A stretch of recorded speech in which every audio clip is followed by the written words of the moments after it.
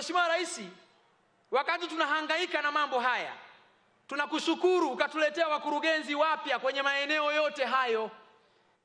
Sasa kilio chetu kimebaki kimoja ambacho tumemwambia Mheshimiwa Waziri, tuna wakuu wa wilaya wapya, tuna wakurugenzi wapya, lakini tuna wakuu wa idara ambao bado wako kwenye mfumo ule ule wa upigaji, waliokuwa wanawakandamiza wananchi na wanahujumu miradi ya maendeleo.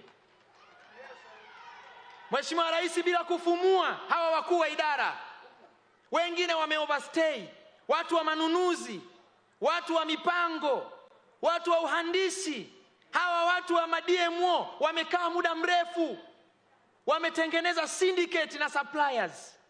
Mheshimiwa Rais, mkurugenzi wa Bunda leo kuna wakati anajifungia chumbani analia machozi. Kila ukimwelekeza afanya hivi, anakutana na wale wakuu wa idara pale, wanampotosha, wanammislead, hawafanyi maamuzi. Mkurugenzi wa Tarime vijijini anaingizwa mkenge na yeye. Safu yote ya wakuu wa idara wale ndio wale wale waliofisadi miradi ya maendeleo.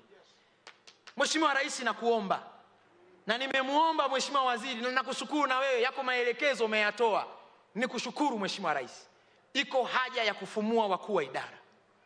Tumebadilisha wakurugenzi, Mheshimiwa Rais, umetusaidia, umetubadilishia wakuu wa wilaya, lakini wale watendaji wanaowasaidia wakurugenzi sehemu zote nilizozitaja wananuka rushwa, wana urasimu mkubwa, hawafanyi maamuzi na wanaendelea kukumbatia ile mifumo ya zamani. Namwomba Mheshimiwa Waziri wangu wa TAMISEMI na tayari Mheshimiwa Rais ulikisha kutoa maelekezo, atusaidie jambo hili kwa haraka, ili mkoa wa Mara ubadilike na wananchi waweze kupata maendeleo.